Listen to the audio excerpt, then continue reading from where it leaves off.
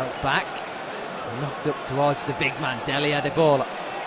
Oh, flicked on. Here's Jay Tabb. He's in behind the Scunthorpe defence. And he's been brought down by Murphy. He's the last man and he sees red. And Scunthorpe have been dealt a double blow. Down to 10 men and now they face a penalty. Lillis against Doyle.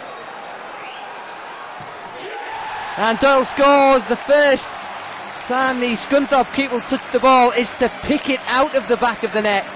And Coventry have the lead. Just five minutes into the second half.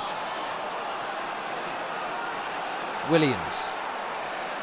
Tabb has come across, but Williams, even though he slipped, still managed to get there and get the cross in, and there's Cork! 1 1 against all the odds. Scunthorpe, a man down, have pulled themselves level. Big credit to Williams.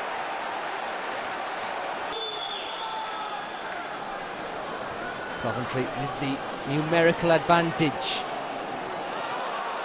Here's Cairo. Well, he's been brought down by Yoga.